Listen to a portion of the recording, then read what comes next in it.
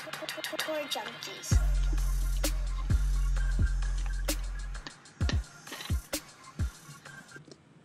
What's going on, everybody? DB here. Pat Perry with me. It's the Tour Junkies for the 2020 Honda Classic. It's going to be a great show. We are back in our normal situations. I know Pat's um, grateful for that. We're not in a hotel room. We're not um, buddied up on the on the casting couch like we were last week for the WGC Mexico.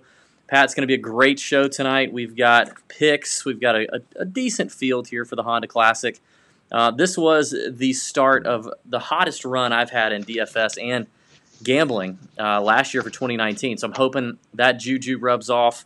Um, we've got. Uh, we're also going to tell you we got a new segment tonight that we're looking forward to at the very end called "What's Wrong with," and then we're going to talk about a player. And we're going to tell you what's wrong with that player, and we're going to conspiracy theorize some crazy stuff and try to connect some dots. Cheers, Pat. Cheers to you, DB. Uh, this is very awkward because my computer's in. You, you came to the house after uh, we did our, our, our little thing in the, for the PGA Tour last week, and you changed everything around. And so I have you in on my right side, and so I have to to look at you. I have to look this way, and to see what you're doing. But then the camera's straight in front of me, so it's it's very awkward. It's very weird. Uh, but we're hoping for better sound quality, is what we'll see. Now, when I left you, the okay, so the camera's still in front of you. That's where I left you, but you're having to look a, a different direction. Okay, well, you know what, people? Pat is a is a creature of habit for sure. Um, we're going to do the best we can, but I definitely think Pat's audio should be better. Um, should be better now as a result. So I'm gonna try. I'm gonna change something up though, mid, uh, not mid podcast, uh, beginning of podcast. I'm already changing up what you did, and I'm gonna do something different. if you weren't on the podcast last week, Marcus Marcus Miklovich has already asked about where parlays are to, uh, tonight. So, Oh gosh. y'all, if uh, yeah, last last week was interesting. Um, that's an inside joke. If you were watching on YouTube, you got that. If you're not watching on YouTube, I don't know what you're doing with your life. Um, it's been a it's been a good week, Pat, but I'm ready to get into the Honda Classic. Um, I think, real quick before we get into the Honda Classic, very quick announcements. Number one, we need people to tell us.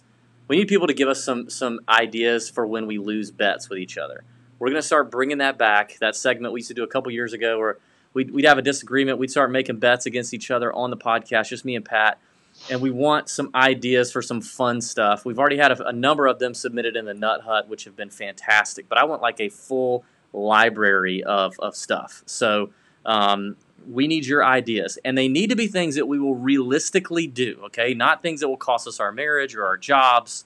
Um, th- they need to be things we will realistically do. A couple good ideas that came out of the Nut Hut last last week were uh, we both get a we each you know one of us whoever loses gets a henna tattoo right in the tramp stamp area, and then we have to video and post on social media us showing the wives about that. I thought that was a good one. Uh, there's been a lot of good ones. So send in some ideas. You can DM us on Twitter, Instagram, tweet it, whatever, or you can email us info at tourjunkies.com. But we need those bet ideas. As soon as we get that library of those, we will start doing more one on one bets. That'll be a lot of fun. Also, there's new merch on the way for those of you who have asked. Uh, it'll be here in probably probably before Masters Week, so stay tuned for that. Save up your coins. But by the way, we still have plenty of these sweatshirts in there. Pat's wearing a good, good T-shirt right now. All that's up there. You need to go check it out. And if you're a Nut Hut member, you get 20% off of all your purchases for the lifetime of your membership. Uh, speaking of Nut Hut members, if you are Nut Hut member, submit some cameos.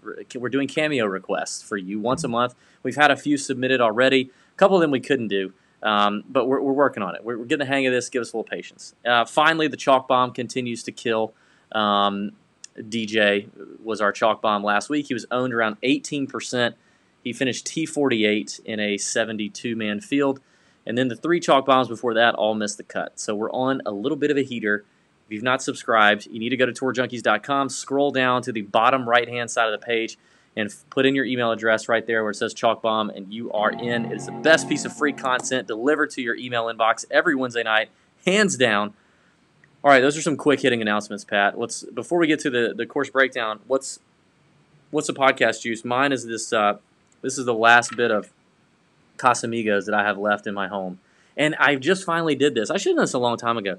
I got the the ice cube things, the the the big ball ice cube things. You know, I should have done Yeah. that a long time ago. I got those molds for the freezer. I'm really excited about my my large ice cube tonight. So Yeah, I like. Yeah, that's good. Um, yeah, I'm going with just my typical uh, Tito's with uh, little. I thought I thought we were doing something special tonight for the podcast juice. Oh yes. Well, we have a special uh, appearance that's going to be made. I'll give you a hint. Okay, that's all I'm going to. I'm, I'm, all the viewers will see right No, we there. literally saw nothing. You're gonna have to hold that up to. We literally saw absolutely nothing. You look, you're looking at your PP. Okay, got it. Okay. So Um, I'm going to have a little special something for later on uh, for those that uh, all maybe 17 of you that, that read the Fantasy Golf Sommelier. The last time I wrote, I didn't, I wasn't able to write last week with our travels, but the last one I wrote concerned uh, was about um, canned wine. Okay, and so uh, because I bashed canned wine, uh, we may or may not have had someone reach out to us and tell us, "Hey, try this canned wine." And so that's what it's going to be. But uh, I'll I'll tell you more about it later on. So later tonight, Pat will be drinking on some canned wine. I'm excited about that. Um, a taste test live right here on the Tour Junkies podcast. All right, Pat, let's talk about PGA National. This is a this is a tough one. It's a it's a tough one. We uh, we need to hear it. It's a bear, you might say. So tell us a little bit Ah. about it. I like what you did there. So, hey, let's just let's talk about that first. This is the start of all the nicknames. This is it. We got the bear trap this week. We got the snake pit coming in a few weeks. Of course, Amen Corner the master. So yeah, this is the nickname. This is the the, the beginning I of. don't know if you put. Amen Corner in the same. I don't want to put it in the same breath. Yeah, it does. trap. That sounds Let's weird, but it is it is a nickname for three holes, just like all these ones. Yeah, are. yeah, okay. I mean, technically, that's what it is. Anyway, so yes, this week at the Honda Classic in Palm Beach Gardens, Florida, we are at PGA National. This is the Champions Course. It is a par 70 playing 7,140 yards. Uh, we got a full field event this week. Uh, T65 and ties will make the cut. Bermuda greens. The rough is typically actually pretty penal out here. Uh, a ton of water hazards. You got water actually in play on 15 of the 18 holes out here. This is really it's it is one of the toughest courses they will play all year outside of a outside of a major. Uh, it ranked fifth toughest last year. It was second in 2018, 16 in 2017. Probably a, a, a year they had pretty low wins, uh, and then fifth in 2016. You, I mentioned the bear trap. That is holes 15 through 17. They play as one of the most difficult stretches of golf all year on tour. Uh, so I mean, these guys are going to get that that stretch, and they're going to have to have their A game. You know, look, one of the things about this course is you just got to avoid the big numbers. You know, you can't get you can't hit it in the water, get double bogeys, bogeys. I mean, you've just got to be patient. You got to have experience around this course. You can't freak out when you make a mistake. Um, it's just a tough, tough course, and they, there's not a whole lot of opportunities to score out here. The, the par fives are reachable. You got to take, you know, you got to, you know, score when you get to those par fives, but there are only two out here on this par 70 course. Um, and I think you got to take advantage when you get if you get a decent weather draw, depending on what the wind does. Right now, the wind looks like it's going to be in that 15 to 20 mile per hour range. Uh, it is going to be sunny, but it's going to be a factor this week. So, you know, like I said, this is just a, a, a tough, tough golf course. You got to keep it in the fairway. I think strokes gain approach is important hitting these greens. I looked at Bermuda Bermuda grass um, putters over the last 100 rounds. We we you know this will be a long stretch of Bermuda here before we get like to the Masters where they'll have bent grass. But um, now that we get to the East Coast, that's what the main surface is going to be. So I'm definitely going to pay attention to that. Um, what else I got here? I mean, don't That's forget it. As far don't, stats, what? don't forget now you're on the East Coast, like you said. So you got you got early lineup locks. We got you Oh, can't no, no tinkering in the morning like we've been doing. So you're going to be able to. You better you better get your lineups in on Wednesday night. Read the chalk bomb, get in the Nut Hut chat room, and get your lineups locked in before you go night night. Yeah, you gotta you gotta wake up early if you're gonna do any tinkering, which Yeah. is not in here. So I mean, looking at stats for me, I'm always looking at form and course history here. I do like the experienced guys. I think um, the grinders um, that just that just can, you know, whatever the course conditions, they're going to play well in. Uh, I like bogey avoidance as a stat to look at, at least for guys that you you know just that don't seem to get themselves into a ton of trouble and make the big numbers. Driving accuracy for me, I think, is important. Um, that's about it. Greens and regulation, I like that as well. Past champions, you had Keith Mitchell, your boy. You were really high on him leading up to this event. yeah, hit him at hit him at 150 to one. Yeah, um, so I like him.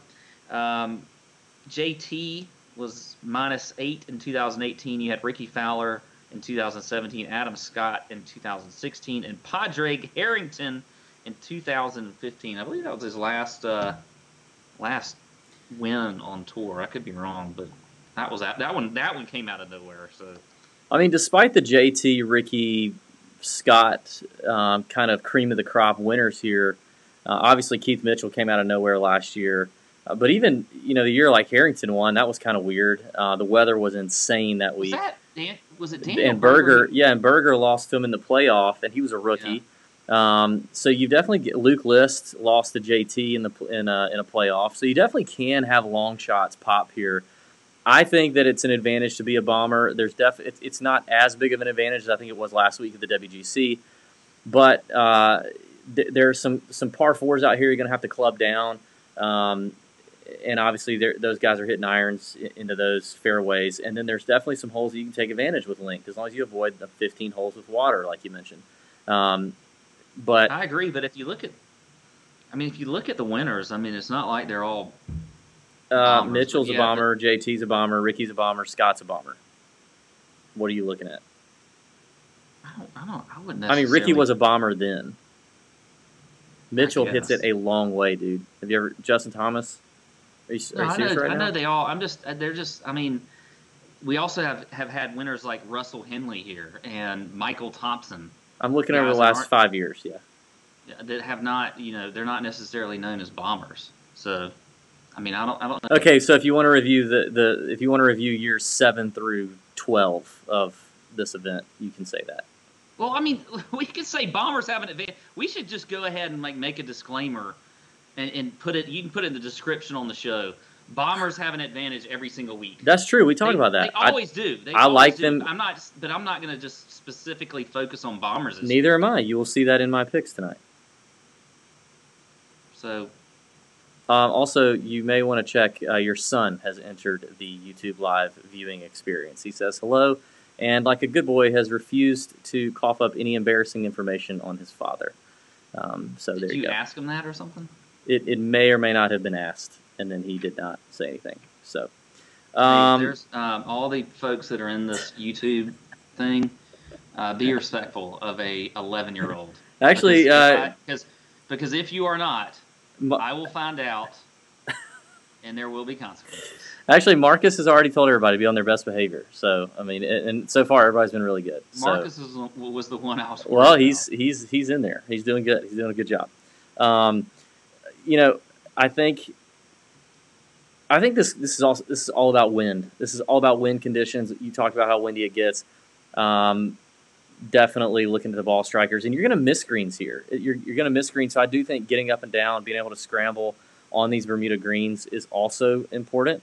Um, so in terms of stats, it's interesting. You mentioned bogey avoidance. I don't, I don't, I can't remember the last time I looked at it. It might, might have been, you know, uh, of course, in the summer last year, but it's actually a, a stat I looked at today as well. Bogey avoidance uh, over the. I kind of looked over the long term. I wanted to look over the last like 100 rounds, 50 rounds on Fantasy National, just to to get an idea of of long term who does a good job avoiding the big number.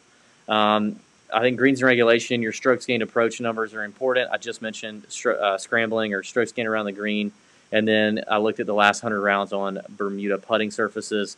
Um, so yeah, I think that's pretty. I think that pretty much covers it. We should have some. Uh, we can get into the picks right now, but we should have some inside info, uh, hopefully, or at least a few things. We had some last week, just a, a little a little narrative last week that we shared in the Nut Hut. Um, and I think people, if you've not joined the Nut Hut, what are you doing? Go join the Nut Hut. Go to tourjunkies.com, create an account on our website, and then pay ten dollars a month or ninety dollars a year to join the Nut Hut, Golby's Nut Hut.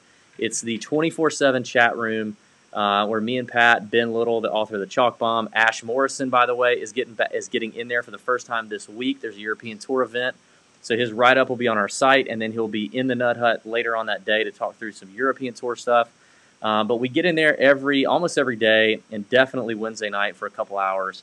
It's really been fantastic. What's crazy is like last week we actually had a Nut Hut member with some inside info on a particular player that worked out pretty well. In fact, that player turned up finishing like top 15, I think, top 16. Um, and he was like out too well, 6K. ended up great. Yeah, it didn't start out too well. So we had some inside info being shared from a Nut Hut member. There's been all kind of crazy stuff happening. We've had Nut Hut members uh, betting against each other for money. Uh, hopefully, you guys paid up on your bets. We've had um, we've had all kind of fun stuff. Relationships are blossoming and blooming every single day in the Nut Hut. It's a lot of fun to watch. The cameo requests that you get one free per month from me or Pat's, uh, they're, they're rolling in. Uh, we've executed a couple, but we need we need some more. Um, and and then there's people taking advantage of the 20% off discount in the TJ merch store. So if you're a member, you get that $10 a month. You might as well give it a try. Just go on our site, sign up, $10, try it for one month. You know what I mean? Like that that'll get you through the players. Why it'll not? get you leading up to Masters Week. Just um, yeah, just give it a shot. If you, I mean, if you hate it, get out. Don't you don't have to.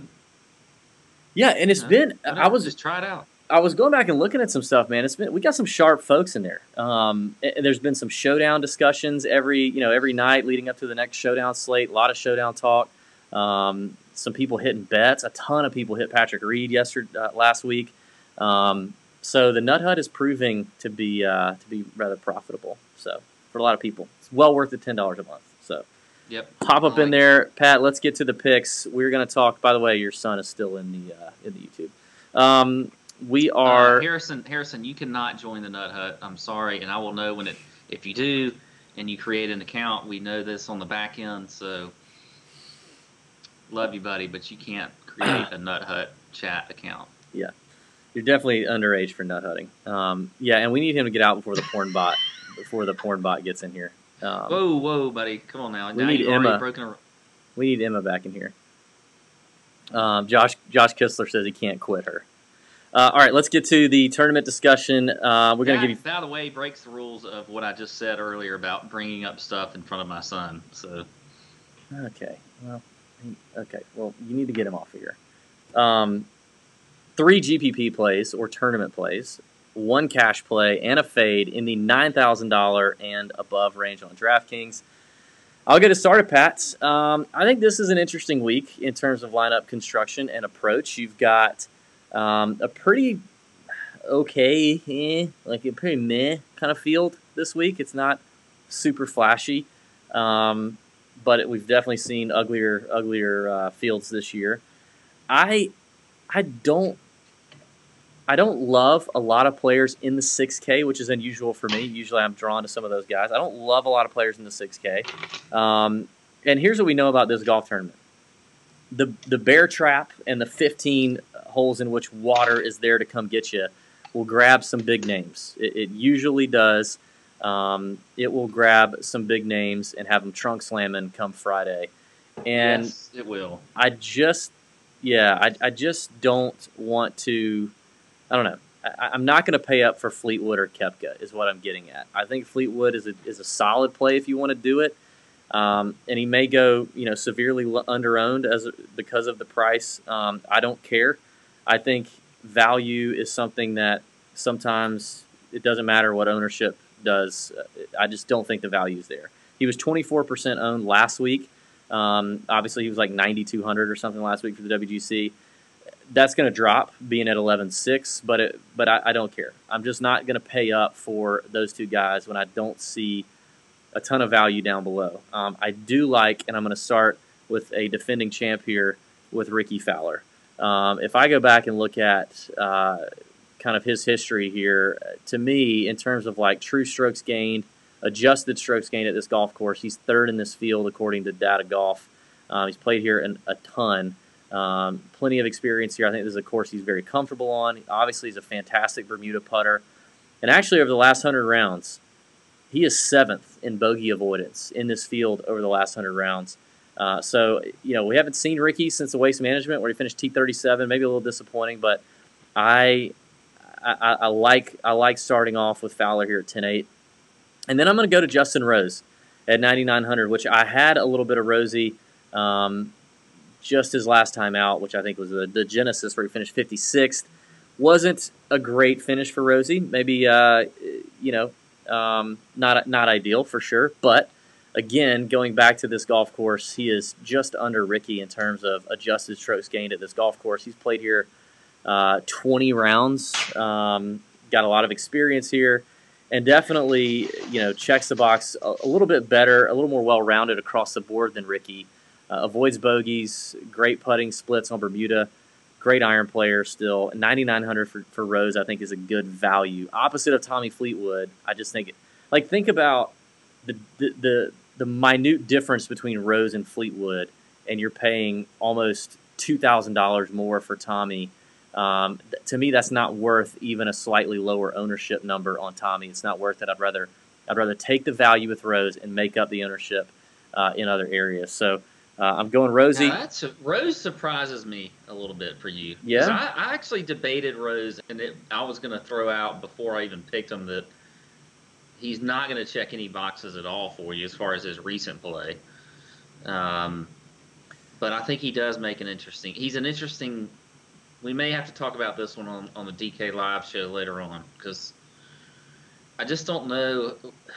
You know, based off his form and everything else, I mean, he's he's not really showing all that much lately. He's, so. he's top 30 in the field in approach, strokes gained approach, which is okay.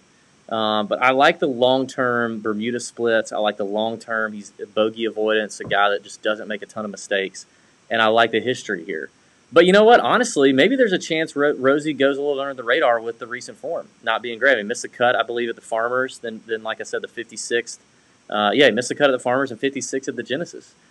Maybe he goes under the radar. I, I love that. I, I, love it if he does. Um, well, I mean, and you you killed me for the talking about the history like of the Bombers and stuff. Like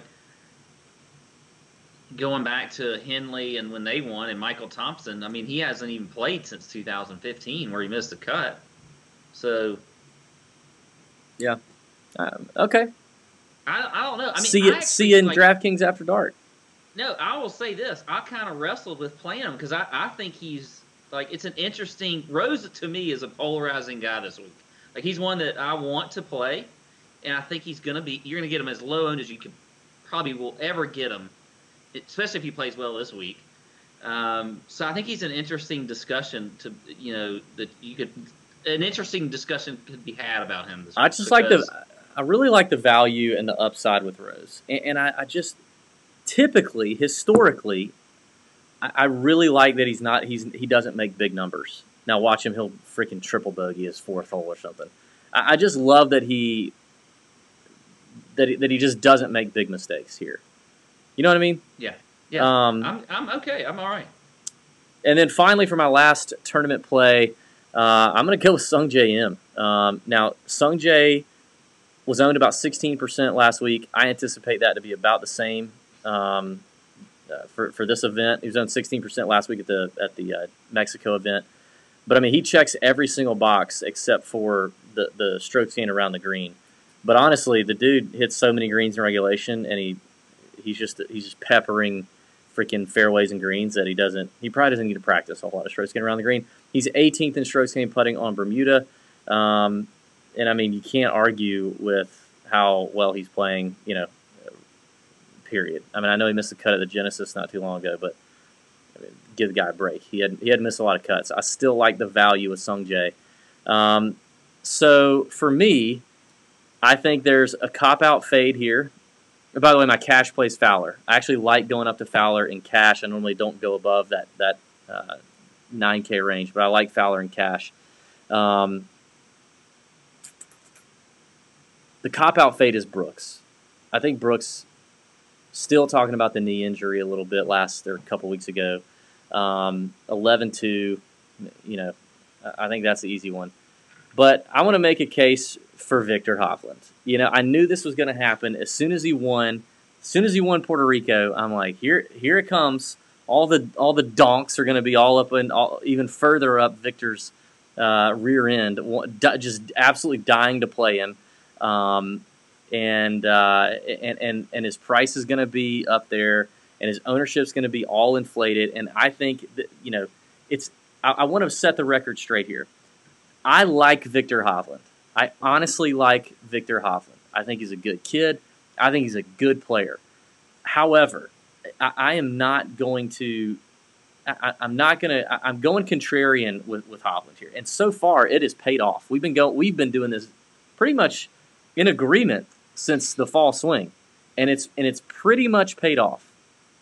But I feel like Viktor Hovland is is is the is your future Jordan Spieth. I don't That's think so. I feel like. I don't. I don't I think feel so. like that's yeah. No, I think that's what. I think you're wrong. Um, Yeah. Here, I dude. By the way, I, I love the kid's post round interview when he, when the guy asked him about couple chunk chip shots, and he's like, "I Yeah, suck at chipping." awesome. I love it. That's the where that is where he's a little. He's definitely different. Than He- he Spieth, chips- That was pretty. Yeah, he chips as if he's a combat veteran, and on his downswing, someone slams the door really loud, and he just. um, I, he is much respect to our combat veterans, but like like he's got PTSD, and then he right at the downswing, he just. Um, and that scares me on this golf course. Like, I, I get it. He is a phenomenal driver of the golf ball, phenomenal, great, you know, good iron player. But you are gonna miss greens here, and you have got to be able to save some pars. And he cannot. I mean, he is awful. He is awful. Um, chipping Yeah. and, and putting. He's, he's not a great putter either. Now he rammed that one in the back of the hole in the 72nd hole in Puerto Rico.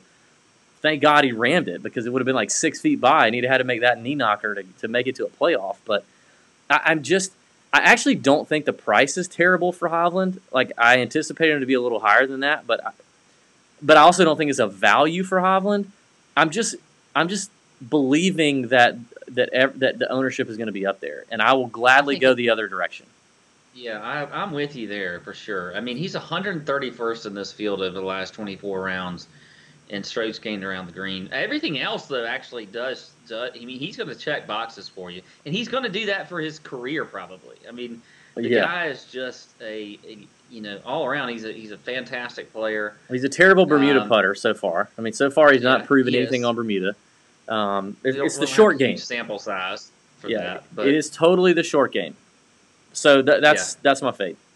All right, what you got? Okay. All right. Well, this is going to be pretty easy because, uh, and, and I was a little bit surprised here that there was there was so much agreement, but uh, I, I I love Rickie. He's my favorite play up here at 10-8. I like him a lot, so I will be playing a ton of Rickie. Um, and I'm with you on Sungjae Im. He was my other GPP play, so I like him as well. And look, I mean, this guy, he, the the whole strokes bled grinding thing that we used to talk about a lot on the on the podcast. You know, guys that would play Yeah. tournament after tournament. It does not apply to Sungjae Im. Like No. he has he has blown he he's blown up that stat for us. At least him in particular. Not everybody, but he has. Um, and I think this is a good course for him. So I do like Sungjae Im as well. Um, I like Gary Woodland this week, and I cannot believe it. I cannot believe that I like Gary Woodland, but I'm going to play him, and I don't mind the price at 10-3. I mean, we saw him. You know, he kind of snuck up on the leaderboard at the end of the day, or at the end of Sunday, on uh, you know for the, at the WGC Mexico. Uh, but if you look at his stats, I mean, across the board, he is definitely checking boxes. He's 18th in the field in ball striking. He is. Here's one thing that he's doing more than better than he's done in a long time. I think is his driving accuracy is good. I mean, he's 36th in the field in fairways gained, and we know he's got the length. You mentioned being a bomber. He's 15th in the field in par four scoring, which I do tip, look at on these on par 70 courses. 15th in greens and regulation, fourth in bogey avoidance. So if, if you're just if you're looking at the stats, Gary Woodland is checking some boxes here, and I do like him. Um, you know, his history is is good. It's not great. He did have a T2 back in 2017. He's made his last four cuts here, but nothing really that's jumping out at you know. His finishes aren't outside of that T2. They aren't all that great, but I'm just liking Woodland this week. I'm feeling him. I don't- And I don't hate think That, uh, you know, I, I just I don't know. When I looked at the the pricing when it first came out, I, I immediately was like, oh, I'm not playing Woodland. But then when I started looking at it more, I think it actually is uh, it makes sense, and and so I do like some Gary Woodland there at 10-3. Uh, my cash play is going to be Billy Horschel at 9200. I like that play. Look, he's got a good history here. He's had two top 10 finishes in the last, um, actually three top 15 finishes in the, his the last four times he's played here with a T4 and 17 and a T8 in 2016. I like what I saw out of him last week uh, on Sunday. He he certainly uh, has been playing well this year. I mean, you look at um, top tens in his last two events. Uh, you know, as far as the stats are concerned, checks a few boxes there. Not necessarily around the green. His scrambling stats aren't great, but he's 10th in driving accuracy, 9th in strokes gained on par fours. I think Billy Horschel is a, is a good play in cash this week. I don't mind him in tournaments, but I think he's probably going to be pretty high owned. Um, can so I tell I you? Can, can I tell you? I think I, I just had this is just a total gut call here. I have a I have a bad feeling about Billy Ho this week. I have a bad feeling. I, I, I feel like this is a trap week for Billy Ho. I think 90, I, I first saw the 9200 and I was like, whoa, 9200. And then I see the form, you know, and I knew the form was good. I'm like, well, okay, form's pretty solid. Okay, I get, you know, uh, that's that's interesting. But I just I, I feel weird about Billy Ho right now. Like like I, I also think he, he could potentially be the chalk bomb on Wednesday night. I, I think he's going to be popular. It I have no I have no statistical backing. I just want I just want that on the record. I, do totally get I why you would I play. could see I could see Ben making him the chalk bomb. I, I, Yeah. I could see there. But Yeah. from everything I'm looking at here on Monday, as I'm as I sit Yeah. here, I, I, I I like him as a play. Okay. Um, so I'll go with Billy Horschel there. My fade was actually Hovland. Okay. I had I had Hovland listed as my fade. Fleetwood was like my easy, just Yeah. I'm you know whatever. I think the top two. Yeah. All right, so a little bit of agreement there. I like it. Um, all right, let's talk about the AK range. This this range is weird for me. I'm gonna See, I'm gonna I'm gonna mess up some minds. I think with with some of these. well, first of all, first of all, I, I really like this range. Um, I, I I'm narrowing my, my tournament picks down to two, which is what we're trying to do. But there are there are three others that I like, and potentially this is why I need to be a Nut Hut member. Potentially by Wednesday night, there is something I've discovered, heard, learned, seen in the research, whatever, that will flip these around. But as of Monday night, right now, recording the show, my two favorite plays in this 8K range are probably no surprise Daniel Berger, number one, who continues to play very, very well, has a great record here at, at, uh, at, at PGA National, local boy, uh, local to PGA National. Um, and I, I, he just checks all the boxes. There's I'm not, I, there's nothing else to say about Berger. Playing great, checks the boxes, great record here. There he is, um, with winning upside. And then I think for a tournament play, I think one of the, I think as of Monday night, of the five guys that I like in this range, I think one of the lower owned in here may be JT Poston um, at $8,600 on DraftKings. Great putter on Bermuda, typically a really strong scrambler, and just pretty solid across the board in terms of uh, in terms of ball striking ability is JT Poston. So he's played here twice, 2019 and 2017. 2019 finished 36th, 2017 finished 27th. So uh, not bad there for Poston. And you know he's playing okay. He's making cuts. He's not doing anything crazy, but I think we played a lot of birdie fests here lately, and I think JT in a birdie fest may not be ideal. Um, but I, I like JT here on a course where he can grind it out and and and you know scramble, get up and down, do what he does best with that short game. So I like Poston. Uh, Berger is a is a lock for me in cash, um, so he's my lock. And then I'm actually going to fade Poulter, who has a good record here. Who I, I guess you could claim as a local, which a lot of people are going to claim local narratives this week. Um, but I guess you could claim him as as a local. Uh, but I'm I'm I'm actually out on Poulter in terms of, you know, this is first PGA Tour event of 2020. He's been playing, you know, been playing regularly on the European Tour uh, in the fall, winter time, whatever. Uh, but it's his first PGA Tour event. I mean, he's his. We last saw him play in the Saudi event back in January, I think, where he did well. Uh, did well in Dubai, missed the cut at the Abu Dhabi, 44th uh, in in the other Dubai event, and then 39th in South Africa. uh, at the Nedbank. So all of his, you know, recent form is all Euro Tour going back to January. I just I would rather see a little form coming in, and I think in this range because I do like a number of players in here. I think he's the one for me that I will uh, I will avoid. So there you go. Okay. I bet you name Well- a couple of guys that I also like in this 8K range. I bet I don't. I have a feeling that I will not, um, because I've got a, I got a, I got one name I haven't mentioned in years, probably. What Charles Schwartzel? I'm going to go with. Um, I'm going to start with Berger.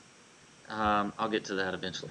I'm going to start with Berger, and I agree with you totally. I think that he's a great play here. We've been on him all year, and he's done nothing but come through for us. So I'm totally with you on him as a GPP play. Um, I'm going to I'm going to wait for my second uh, GPP play, and I'm going to go straight to cash, and that's Ben An. I like Ben An at cash. Yeah. I don't. I don't. I just don't mind. I mean, the guy is I don't mind that. you know, he's not a great. He, he's he, he, he can make you frustrated, but all in all, I mean, at his price and everything, I, I think Ben An is a great play this week in cash. So I, I will. I, will I was actually shocked at how well Ben An has played this event. Like he, he's actually he's got eight recorded rounds here. He's, he's he's gained a lot of strokes in those eight rounds. I mean, fifth and thirty six is the finish. But I was actually surprised at how well he's played here. This feels like a course where he would just lose his mind and shoot like a ninety. But No. Yeah. No. But and he's you know he's I been like pretty good lately. He had a top ten at, at the Waste Management, you know, T twenty nine last week. Um, so I, I, I think Ben An as far as just a good solid cash play, I do like him. Uh, and he's checking a lot, a lot of boxes. He's second in scrambling, um, 25th in strokes gained on par fours, and then ninth in the field in bogey avoidance. So I like some Ben An there, and I think he's a good cash play. My fade is going to be Niemann. I'm just not. I don't. Niemann isn't really. what, I mean, what about that? What about that stinger, man? Remember the stinger from a few weeks back? that was a great I mean, this is- and all. This is Honda beautiful. National. I mean, this is PGA National. There's a lot of wind. I don't. I, I just. I don't. I don't mind Niemann. No, I'm going. He can't putt, but neither can like- Byung he- Hanan. he can't hit a fairway. Um, you know, he, he does check the box in greens and regulation, I guess, when you're talking about the top half of the field. He's 81st in the field in bogey avoidance. I feel like you're going to get some big numbers out of him. He's the guy that I think you're going to be like, if you roster him, you're going to be so ticked off because you're going to see shot tracker showing ball in the water, ball in the water, ball in the water, uh, shot to five feet, make the putt, and he had his triple. I mean, that's like that's what I think is going to happen with Niemann. It's quite the Like, prediction. He's going to be the Quite most, the prediction. he's going to be the most frustrating shot tracker guy all all week. All Okay. week. Okay. So if there was like strokes gained, you know, Okay. piss you off with a shot tracker, it's going to be Niemann. My other one is Charles Schwartzel Yeah, I knew that was coming. At 8100. I just think, look, he has not been great this year. If you look at his his last four events, he's only made one cut, and that was at Pebble Beach where he was fifth. And I'm just I'm just guessing a little bit that he may have found something on a difficult course, and we we typically see him play well on difficult courses. Um, so I think Charles might have a little something this week for us. And he's finished well last year. He was T16 last year at this at this event. Uh, you know, as far as the stats are concerned, across the board, they're not really going to jump out at you other than scrambling. Um, but I like him. I, I talked about at the start of the show about guys that are kind of grinders that just sort of don't let anything really bother them, that play well on tough courses and tough conditions, you know, that, that don't require you to ex- go extremely low and don't blow up a whole lot. I think I think this is a good spot for him there. I mean, I, it's it's just uh, and and this is out there because he's certainly going to be low owned. But I, I, like some Charles this week, and so he will be my second GPP play. He he just left uh, PXG, right? I think he just departed ways from PXG. He did. Um, and I think once he's done that, he's flashed a little bit. I can't. Um, yeah. I mean, fifth at the AT and T is interesting. I yeah. I mean, for a tournament play, I, I okay, all right. Um, all right, who who'd you say your fade was? Niemann. Niemann, that's right. Okay. All right, what you got in the seven K? Let's get to that. All right, 7K. I'm gonna start with uh, at the top there, and I like some Harris English at 7,800. He's a guy that's played extremely well at this event. Uh, he's in good form. He's made seven of eight cut, of his eight cuts this year. Uh, you look at the the history on this. Oh, God, Yes. f this this computer, this fucking computer. Sorry, I hope Harris. There we go. Anyway, We're off the um, rails. here's- Anyway, here's the, There's the explicit rating, folks. 40 minutes into the show, there she is. And my son's also watching. Um, anyway, Harris English I do like. You look at his his you know his history on this course. He was T12 last year, T33 in 18, and then T60 in 2017. So he's made his last three cuts, but he's he's been making a, a lot of cuts lately on tour. You know, you look at the stats. If and I, we're not model guys, you know, and we, I we mean, talk We look that. like models, but we don't use models. Well, I don't. I mean, maybe you can talk about. it, Oh, but- thanks, bud. But I'm not saying you are. You having technical saying- difficulties over there? Sam, Yeah, Sam says. technical difficulties. But Harris English, if you look at across the board, Uh. he is sixth in ball striking in this field, seventh par four scoring, third in greens and regulation, second in bogey avoidance. I do like some Harris English at 7,800, so he is going to be one of my tournament plays, and my cash play will be Harris English as well. I also like Maverick McNealy. Yes, at 7,500. A guy we've seen playing extremely well lately. I mean, he was weird on the Corn Ferry Tour last year. Um, you like the Corn Ferry reference, by the way? Well, yeah, always up for a Corn Ferry drop. But you look at his you look at his last three events on tour. He was T27 last week at the Puerto Rican Open. He was T5 at, at, at Pebble Beach. He was top 15 at the Farmers on a very difficult course. So Matt McNe- McNealy has been playing extremely well. I mean, stat wise, he checks the box in scrambling, also par four scoring. He's number one in the field in bogey avoidance, and also checks the box in greens and regulation. So I like Mav McNealy. I think he is a, a great play this week. And then finally, as a GPP play, I'm going to go with uh, a little Taylor Gooch, Mm, 7,200. the gooch like is loose. Yeah, get me, get me right in my gooch. Another guy that's checking a lot of boxes and scrambling. Also, par four scoring, greens and regulation, 11th in bogey avoidance. You look at his recent results; he's made 10 straight cuts on tour, including a top 10 finish at the Genesis uh, just a few weeks ago. Uh, as far as his course history here, too, actually, that's that's that's popping some. I mean, he was uh, he was T. Where was it? Twenty. T twenty? T twenty last year. God, Uh, so I just do moved like and like some- sat on one of my nuts. You ever do that? Yeah. Ugh, Anyway, um, a little tinge right up in your stomach. so I like some Taylor Gooch. Speaking of gooch, Uh, okay. English is English is my cash play at seventy eight hundred. Uh, I just think just he's just so solid in, in this on this course and recently, so I do like him in cash. My fade is going to be Matthew Wolff. I don't I don't like him this week as far as he's never played here. He's not checking any boxes. I don't think the form is very good. Um, so I'm not going to play some Matthew Wolff, and it's probably to me it's probably a pretty easy fade there. I got a bonus play for you. Who that? Bud Cauley. Now, why are you giving Cauley. bonus plays? Why are you giving bonus plays before it's even my turn? All right, well, Bud Cauley's my bonus play. Okay. 7,300. Well, Bud, Anyway, Bud Cauley was one of my freaking picks, so All thank right, you sorry. for that. Sorry. Um, all right. Well, Pat's breaking all the rules. He's breaking his own rules about being being gentlemanly with his son watching live on YouTube and dropping f bombs.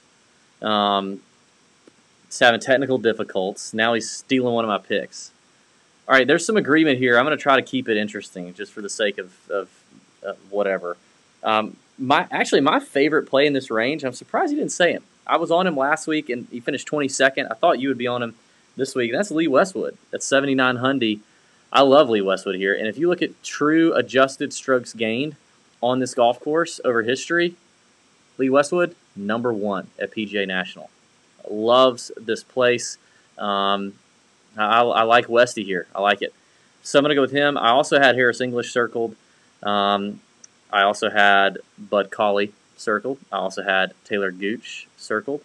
But I will I will mix it up and I will go with um, I mean it's it's kind of crazy, but I think Matthew NeSmith, uh, the guy's in really really solid form. I like it. He is a rookie playing this playing this golf course, but he's checking a lot of boxes at seventy two hundred dollars, including putting on Bermuda, greens and regulation, approach play has been really solid. Uh, but his his game right now is very good. I mean, sixth at the Puerto Rico, eleventh at the Pebble Beach, thirtieth at Farmers, seventeenth at the Amex, thirty second at the Sony. He's an Aiken, South Carolina boy. You know he loves some Bermuda. He's right. He's from right down the street. Loves some Matthew NeSmith. So I'm going to go with him at I thought he was a 7200. North Augusta boy. North Augusta, yeah, sorry. I think uh, it's very very close. Yeah, Um, They're they're they're right there together. And then I mean, I Midland Valley Golf Club. Midland Valley. I, I I do like Cauley, but I, I guess I'm gonna go with I'm gonna go with Old Man Furyk. I'm gonna go with Jim Furyk here, Oh, who wow. Okay. puts really well in Bermuda. Okay, uh, last hundred rounds. pissing you off on Friday. Yeah, last. 100 He's- By rounds- the way, he's missed the last two cuts Okay. on the number on the last hole. He is bogeyed. The That last sucks. two cuts. That freaking sucks. Uh, over the last hundred rounds, he is fifth in the field in bogey avoidance. Um, and actually, if you look at the last 24 rounds, he is second in the field in greens and regulation and third in strokes gained approach, according to Fantasy National. That's pretty, pretty good. Um, so I'm gonna go Furyk here. He's got he's he's got a good record here. He's cheap. I'm gonna go old man Furyk. But my cash play is Westwood, and my two fades. I cannot believe that this guy, where is he, is this expensive. I guess because he's coming off a runner up at AT and T Pro Am. Kevin Streelman at seventy nine hundred dollars. I'm, I'm trying to figure out why Kevin Streelman is seventy nine hundred dollars. Like that one is so obvious that I feel like I have to tell the people, do not do that. That that would be very bad, detrimental to your lineups. Is Kevin I think Streelman? it's uh, literally strictly because of his second place finish at the AT&T. It's like four weeks ago, and then all his other I form agree. before that I was would- terrible. I think I only mentioned one one fade in this category, so I'm going to go ahead and tail you on that one, and I'll, I'll fade him. All right. Well, I don't like Kokrak either. Um, Kokrak just just from scaring the hell out of me standpoint, I don't like him on an on a course where there's lots of water, mini bunkers, mini Yeah. mini bunkers. I cannot have Kokrak Even in though he lineups. played extremely well here last year, sure, he finished he ninth, like which is fine. he's like the the, the potential horror, horror sto- He finished ninth, but didn't he like? Was it Sunday where he just took like? Wasn't he like in the lead going into like? I don't know. I don't. I can't. All I remember is pulling for freaking Keith Mitchell with all that I had, and it paid off. So, um, yeah, I, I can't. I don't understand the Streelman play at all. So there you go. Uh, but I like a lot of players here. You know, again, advantage to the Nut Hut is come Wednesday night. We will. Uh, I'm sure some of these names in the 8K range, the 7K range that we're that we're all talking about here are going to kind of come to light, and some are going to become more clear, and some are going to fade away into the distance. Some are going to be in the, in the chalk bomb email, whether they are the chalk bomb or they're in the 10 facts or um, they're on DB's big balls betting card or Ben has taken some head-to-head matchups and really analyzed what they mean for DFS purposes and now we see things more clearly. All that could all that could happen. So more and more reason to join the Nut Hut. Go to tourjunkies.com, join the Nut Hut. Um, and then finally, let's hit the 6K range, Pat. I got two guys that, that I, I like. The first one I really I like the most is Nick Watney. Uh, I like Watney's record here. Uh, got a good history here. Likes this golf course. Plays well on tough courses as well. Uh, putts well on Bermuda. Chips well on Bermuda. Last 100 rounds, 25th in the field in avoiding bogeys. Last 24 rounds, 9th in greens and regulation, and 28th in strokes gained approach. That is quite strong for Nick Watney at $6,900. So I like him as just a cut maker, guy at the bottom that I feel comfortable with. But, And then finally- doesn't concern you that he's missed his last three. No, he, no, I think his this course is good for him. I think this this is a different course. We, you know, this is they've gone from playing these birdie fest events to one of the more difficult golf courses you know, of the year, which you mentioned. So, um, no, I, I, like the Watney play. I and, do think that's an important point you make. Is that you know when you get on these difficult courses, and it's it's kind of what I was trying to talk about with Charles Schwartzel, is that you know it takes a different type of player sometimes in these events to to, to not only to not only win but play well, and especially when we're talking about these 6K guys, which I don't think any of them are winning. I really don't. No. Um, and it, it, it takes a guy that's got some patience, that's not necessarily, you know, your guy that's going to shoot a 61, but he's going to shoot, you know, four rounds in the, you know, 69, 70, 70, 69, 70. Like this, if you get a guy like that in the 6K range, you're you're definitely you know you, you're doing well. Yeah. Because this is a tough course. Um, I mean, Watney's. If you look at Watney, he's played 20 rounds here at this event, and in terms of uh, adjusted strokes gained in the in the entire field, he's top 20 in, in, in adjusted strokes gained history here. So I mean, he's he he plays this course well, um, and like I said, it's a different course. Now I'm going to flip that to a guy who doesn't check a lot of boxes, but you know the form is there, um, and that's Tom Hoge.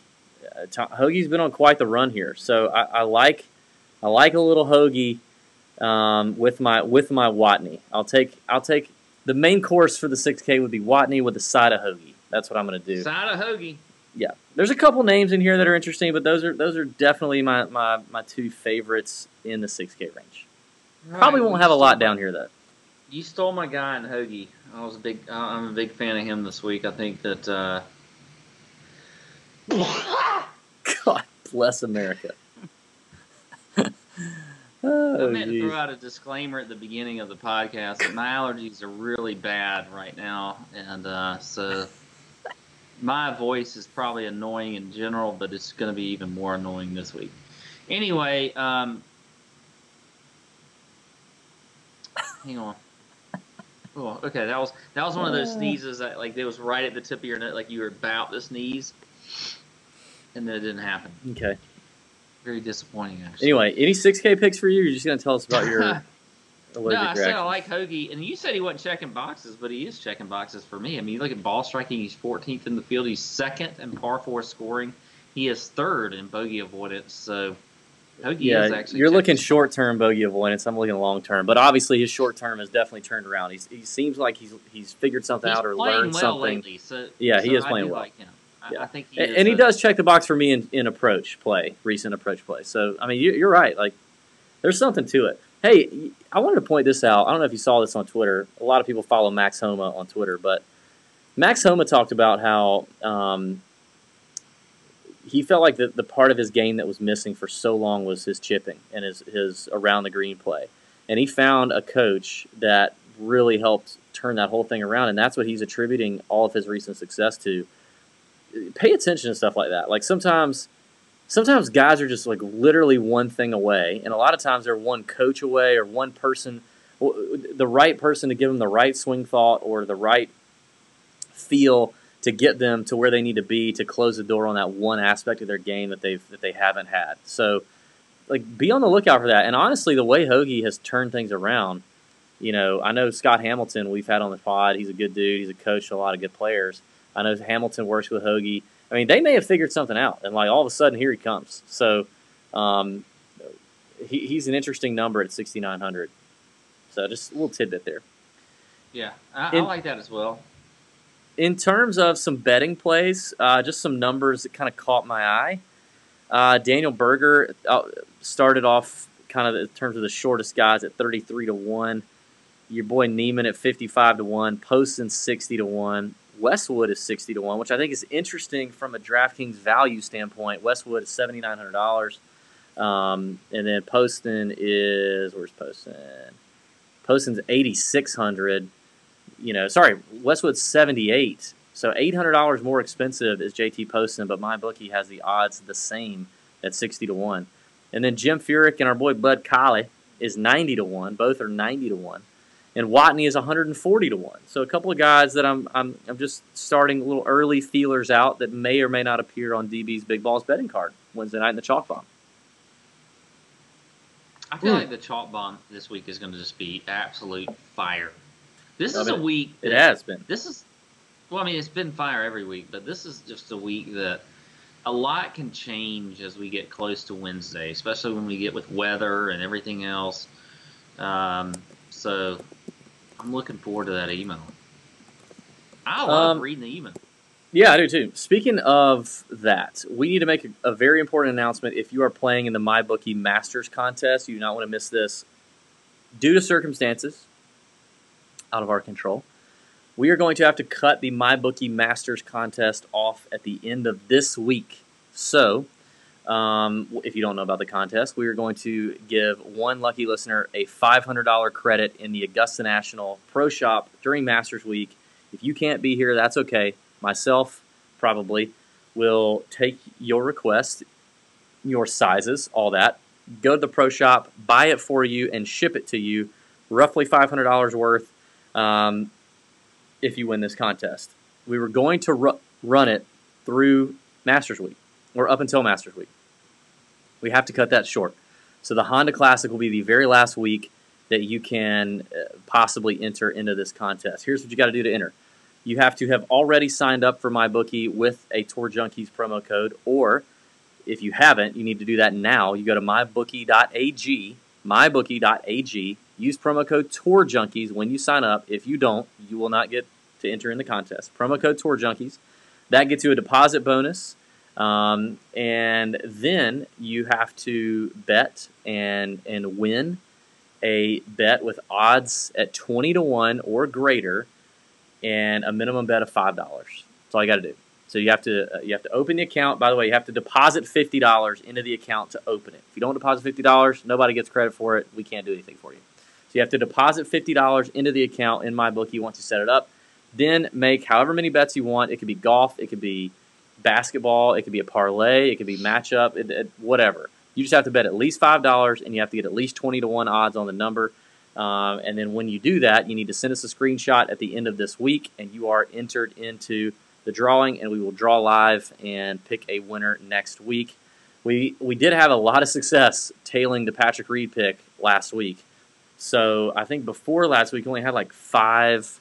We only had like five entrants into the contest, but I think after last week, we probably have like eleven or twelve, which is still pretty good odds. So right now, there are eleven or twelve people who have a chance at winning the five hundred dollar Masters contest. I mean, all you gotta do is go in there and freaking bet. John Hammond. No, it does not include parlays. Good question. Actually, yes, it does. What am I talking about? Yes, it does include parlays. I haven't. I haven't. Obviously, this week. So last week, you know, we were together, and I was able to see the comments and stuff like that. Has anybody? Has John Hammond uh, arrived at all, or is he? Hey, I got I got to tell you, John's been a good sport about it. He's been a good sport. He's uh he's good. He just said he'll, he said I'll see myself out. LOL. So- it's been good, but that's the my bookie contest. Again, we couldn't control it, but we have to stop it after this week. It is what it is. Um, what else, Pat? By the way, last week we were kind of hammered. Um, we had a lot of Casamigos, or as you began calling it, Casa Amigos. Uh, yeah, we it was a good. basically week. had a full like bottle to ourselves. I like Yeah. Casamigos. That's good stuff. Yeah, it's very good.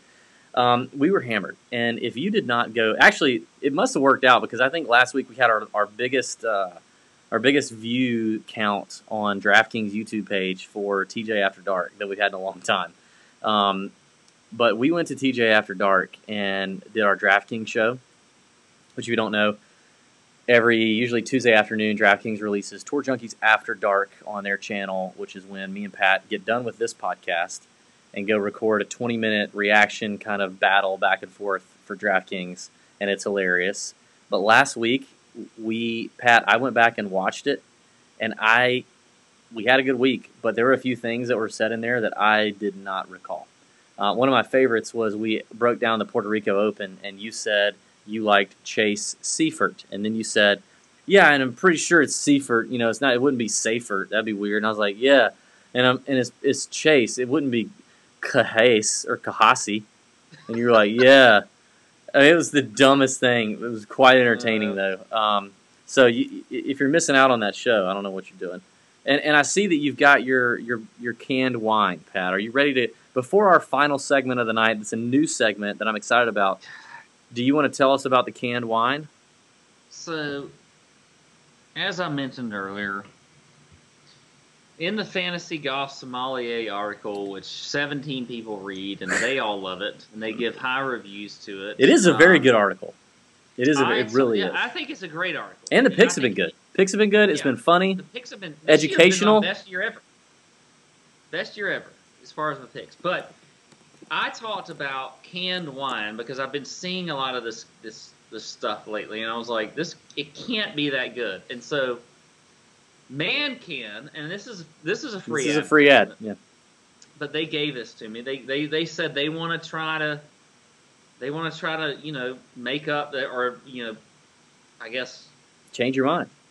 change my mind on what this is. So they sent me four cans of wine. One being this white. Shout out, man. Can. the, I'm gonna have the rosé on uh, on the DK live show. So Okay. you really need to check in for that because I'm probably gonna be way more hammered. Um, so I'm gonna try this. This is the Man Can White. Okay. Hmm. There you go. That sounds refreshing already. You know, it's you, you've you've had it refrigerated, correct? Hold on, don't take a sip. I've You've had it refrigerated. It, it has been sitting beside me for an hour now, but Okay. know, okay, What's it smell like? Hmm. Hmm. that's a good idea. Let me let me do it this way. Let me sniff it. Like like the sommelier that you are. This is, makes for Okay. great audio, by the way. Mm-hmm. Okay. And my allergies are bad. I like cow soup. Yeah, we know. okay, so it smells like a canned. It's, it's actually.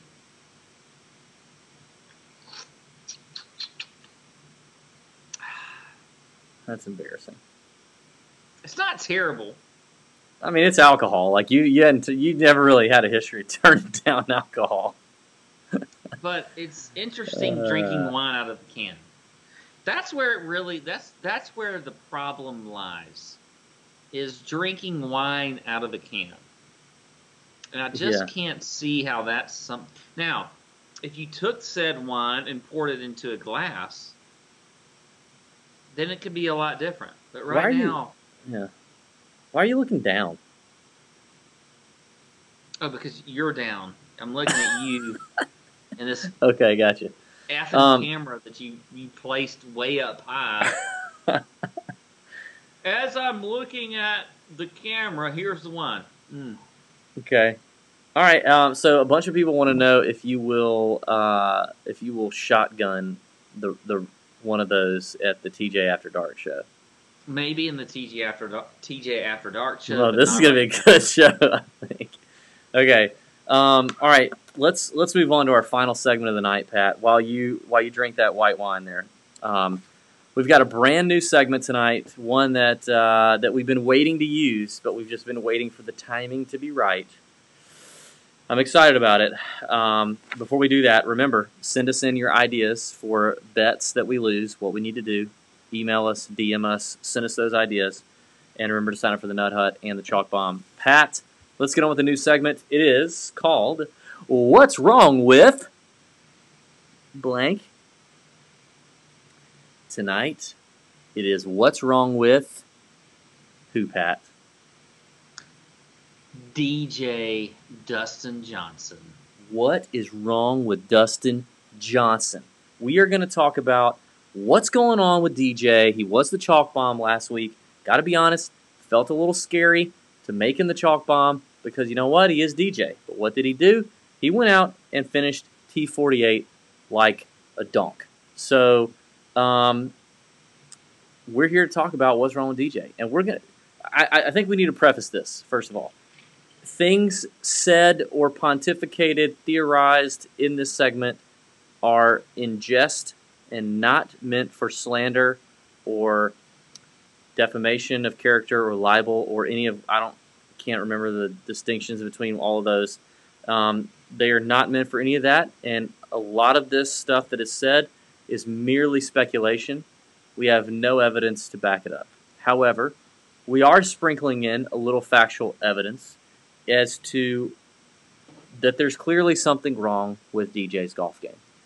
The speculative part will come as to why there's something wrong with DJ's golf game. So, Pat, I will let you start. Uh, you begin with your theory and uh, your your reasoning for why what could be possibly wrong with Dustin Johnson. Well, okay. I'm excited about this, and I'm going to start with the fact that something is wrong with Dustin's Johnson. I think. Nice. I can't wait. I can't wait. I, I don't know if there's some sort of disease or Yikes. it's not it's not working correctly or you know there I don't know. Like he's not he's not satisfying uh, Paulina. But if you look at the stats and I'm I'm going to go let's go look at the stats. Okay he I mean, is- John Tillery talked about strokes gained home home life. You know, if the home Okay, life well, isn't I'm- there, I'm, going to get to strokes gained home life, but I'm just Okay. talking about the stats and his Johnson. okay, so a lot of times, if you got a, if you got a decent sized Johnson, um, you're going to be hitting the ball a, a long way. yeah, you know from But- experience, huh? yeah, I don't I don't have that, but he's not, and it's like statistically, he is I think 33rd, 34th on tour this year in driving distance, where he's What? been top, yeah, where he's been top. 10 I didn't even see that. long- Or maybe it's strokes gained off the tee. Either way, driving distance, strokes gained off the tee will go whatever. But he is there's a huge difference there. So something's wrong in that in that area and there's some problems there and i feel like he needs to i don't know how he's going to you know figure that out but it's it's a problem um, so dj is he's he's lacking in a lot of ways but off a tee is one of them and he's actually he's actually driving it more accurate this year than he has over the last five or six years so he's something's changing with his body. Changing with his body. He's more accurate. He's he's losing distance, things like that. So my theory behind that is is that Paulina is getting in his head. Okay? And she's like telling him, you know, DJ, it's not all about how it's not all about how big you are. It's just it's about it's like it's like the fluid. It's it's the motion. It's the motion in the ocean. and he's lost his edge because it used to be that like he just wanted to hit the ball a long way. And Oh yeah, yeah, yeah. So she's so you're saying like she's like, hey, DJ, length is not all that important, and he's just just smart enough to not shit his pants, and so she's trying to make him feel better about his cock size. But what really he thinks she's saying is, you don't need to be that long on the golf course. So maybe subconsciously he's slowing down his swing speed. yeah, because he's he's never. He, I, he I actually could totally see that. hey, check the stats. He's literally hitting the ball not as far as he has over the last five years. He was like fourth in strokes gained off. How could that happen? He's got all the newest technology from TaylorMade. Yeah, what do you he mean? was like fourth in strokes gained off the tee last year, whereas he's like 34th or something this year. Check, you Wow. can fact check me, but somewhere around there. And then, no, we're not doing any fact checking on this segment. This is not about fact checking. he's also more accurate than he's ever been. But that's the problem. Who wants accuracy? Who the wants accuracy. Screw that. Um, another thing is, like you mentioned, strokes gained home life. Yeah. Nothing That's a big. crazy That's a real thing. no, nothing crazy is going on with his life. Like if you go to his Instagram page or his Twitter page, it's all like Adidas ads and whatever else. And like there was one post on Instagram where he's with Paulina and he's dressed like there was a, it's like the basketball movie and that like that's kind of edgy, but like nothing's really that edgy. Like he's not posting videos of him and Paulina dancing to some song on his boat. Like he Yeah, where are those where, videos? like, like where are those videos where he was dancing and they were in sync? they were in sync on their their songs. You know, you remember that video that I'm talking about? Like A hundred percent. and they do the whole like routine and everything. None of that's happening. Everything's way too normal in his life. Way too normal. I I agree, Crazy shit to happen. dude. That makes a that makes a lot of sense. I honestly did not think about that, but I think DJ works best in a little chaos. You know what I mean? Like he needs a scandal. He needs some. He needs he needs something going on. Um, I think that's And there's none of that. There's none of that. Like, have you heard JT's not in the news? I mean, JT, DJ's not in the news. Like, yeah. nothing. It's just all normal. It's boring shit. He is he is so boring right now that it's affecting his golf game, and it's a problem. And that's where I think that uh, he needs things need to change it up. We need to we need to get him. He needs to screw something up. Like we need like him getting getting caught with hookers and cocaine. hookers and blow, man. That's can we get hookers and blow DJ back? I mean, that's really what we need. Um, Anyway, your turn. he may, he may have he may have uh, Peyronie's disease, Pat, which is a uh, is also called penile fibrosis. It's fibrous scar tissue inside your PP that causes curved and painful erections. It can be caused by repeated penile injury, typically during sex or physical activity. Now, may I ask the jury this? Does one think the DJ has had a lot of sex? Yes or no? Yes. Does one think DJ has had a lot of sexual activity or physical activity? Excuse me. Yes or no? I would say yes. Could he be a candidate for Peyronie's disease? A hundred percent, he could. Um, I, I would say if I were him and he's just hearing about this, I would be tested immediately for this. A hundred percent. I mean, sometimes they can have uh, it, it can bend significantly, as what I'm reading here, along with pain Wait, what and can bend? your penis. It, it could, There's a lot of things. Yeah, um, there's definitely medical treatments that could happen. Um, we don't want to. We don't. We don't want that. We don't. We don't want to see DJ go down. But we also, you know, we we want to. We want to get our DJ back. So I, that totally makes a lot of sense with me, um, Pat. And I, you actually did way better with that than I anticipated. So that's a good theory. My theory is a little.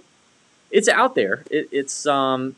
I don't know. Now that I think about it, yours may be more believable than mine, but not. But maybe not by much. Um, let me let me pull this up here real quick.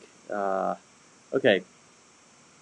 So, I want to start with the timeline first because I, I I need people to understand just how bad DJ is playing. Now, Pat highlighted his driving distance problem, uh, which you may have caught that amongst his uh, his penile fibrosis issues, but. Uh, Pat highlighted the, uh, the driving distance issue, but I just want to talk about overall. Um, I looked at strokes gained data, the raw strokes gained tee to green data. Okay, tee to green. Your 2020 Dustin Johnson tee to green numbers so far. These are a few of the names that are beating him in strokes gained tee to green in 2020 years after our Lord. Brian Stuard, Ryan Armour, Rob Oppenheim, Cameron Percy, not Scott Piercy, but Cameron Percy, and Joel Dahmen. Those are just a handful of names that are actively beating Dustin Johnson in the year 2020 in strokes gained tee to green. Currently, let's- first off, though, I mean Joel Dahmen's a stud. So he, he, I threw Joel in there for I threw Joel in there for fun. He, he's I threw Joel in there for fun. Uh, now now currently he's sitting at 51st on the on the tour in strokes gained tee to green in 2020. Now let's not get it twisted. DJ is still DJ, right? So like he's still going to be in tournaments, but he's he's just not himself. He's currently at 51st. In 2019, he was 10th. He finished the year in 10th. Now you might say, "Hey, that's not bad." Uh, but that was actually his worst year in the last four, where he finished first in 18, first in 17, third in 16, and then in 2015 and 2014 he finished 10th both years. In 2013, his worst year, he finished 20th. So he is currently on pace to blow his worst year, no pun intended, out of the water in terms of strokes gained tee to green. In other words, there is something wrong with his stroke tee to green. Um, here's I another. mentioned stroke earlier. Yeah, you did mention that. Um, here's another thing. In early June of 2019, DJ fired Claude Harmon, his longtime one of his longtime coaches. He fired Claude Harmon.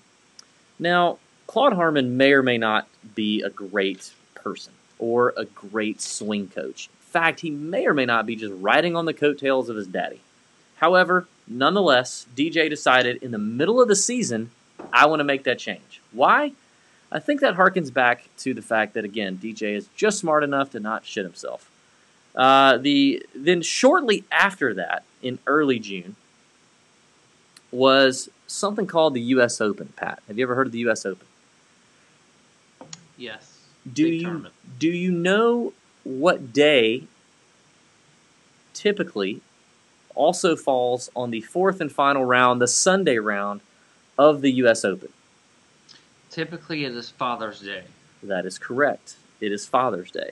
Well, did you know that the fourth round of this past year's U.S. Open in 2019, which was also Father's Day, was really where the the shit started hitting the fan for DJ. Um, he sucked that round, and that sparked that sparked a downward spiral of performance the last half of 2019 and so far in 2020. In his last 40 rounds, starting with that day, he has lost strokes, lost strokes total in 16 of those 40 rounds. 16. 16. That is on pace for his worst season since 2013. Now, this is where it gets a little weird, and I need you to follow me. I need you to stay with me here. Something happened on June 10th, the Monday before the U.S. Open, between the firing of his swing coach and before the fourth and final round, which was also Father's Day of the U.S. Open. Now, where is DJ from, Pat? Do you remember where DJ is from? He is from South Carolina. Correct. He is from South Carolina. Not many people from South Carolina, not many people willing to admit they're from South Carolina, DJ being one of them. Went to school at Coastal Carolina, known as a party school. Uh, on June 10th, a young lady named Megan Holman, 25 years old. Guess where she's from, Pat? South Carolina. She's also from South Carolina. Uh, she was minding her own business until she got lit enough to ride a Power Wheels Jeep down a regular ass road while intoxicated and was then pulled over by the police. Now, you may think these are unrelated stories. However, being from South Carolina, like DJ, being a young lady, 25 years old, kind of up DJ's alley, I would imagine.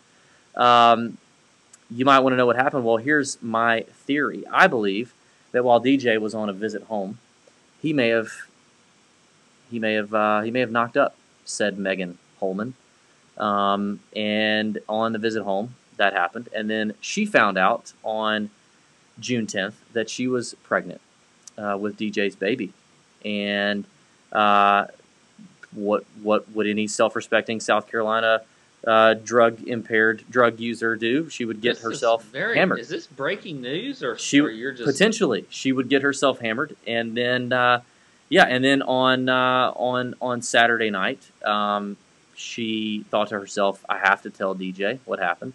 Uh, she waited until Sunday morning, and she gave DJ the call that no no self-respecting millionaire um, wants to hear on the Sunday morning before your tea time at the U.S. Open on Father's Day, and that is, uh, DJ, congratulations, happy Father's Day. It's Megan here. You may have seen me in the news uh, riding my, my Power Wheels down the road, um, but I, I need to tell you that uh, uh, I'm pregnant and the baby is yours. Happy Father's Day, click. And then DJ has to go play a full round of golf. Now, now other things that we know about about Megan, uh, her her Twitter handle is at m Holman H O L M A N ninety three, um, and she follows the following three accounts. Pat, are you ready for this? At Stoners Doing Things, at Weed Wizards, and at Weed Tweets. Apparently, Megan enjoys the recreational Amerijuanas and um, taking joyrides in a toddler's Power Wheels, which to me sounds right up the alley of potentially, you know, just the kind of girl that that maybe DJ in, in his South Carolina hustling days may get down with. So I'm Wow, just I didn't know saying, is- it's I a didn't know this potential the theory. direction we were gonna go. I'm just saying it's a potential theory. That's all I got. oh, anyway, No, good. none of that was true. Just so everybody knows, I made all of that up, completely made up. Except that, no, the Megan Holman thing actually happened. That did happen. She she is real, and she did get pulled over, intoxicated in the middle of the day riding a Power Wheel scooter, Power Wheels Jeep. How fast do those go? Like a mile an hour? I think a little faster. So there you go. That's our uh, that's our what's wrong with DJ. It could be some of those things. Could be, you know, penile fibrosis, or it could be the baby daddy of Megan Holman got to him on, uh, which actually means baby should be due any day now. If that's if that's real, I think. Uh, yeah, I think baby should be due any day now. Congrats, DJ. Good job, buddy. Maybe a little nappy factor is all he needs to get it back going. There you go. Nappy Factor. Next event he's in, we're going with him. All right, I can see Pat hitting the wall real hard here. It's time to uh, call it a night and go ahead and do our DraftKings After Dark show. Can't wait, buddy. Hope everybody has a great week. May your screens be green. Thanks for joining on YouTube. You guys are the best. See ya. Oh!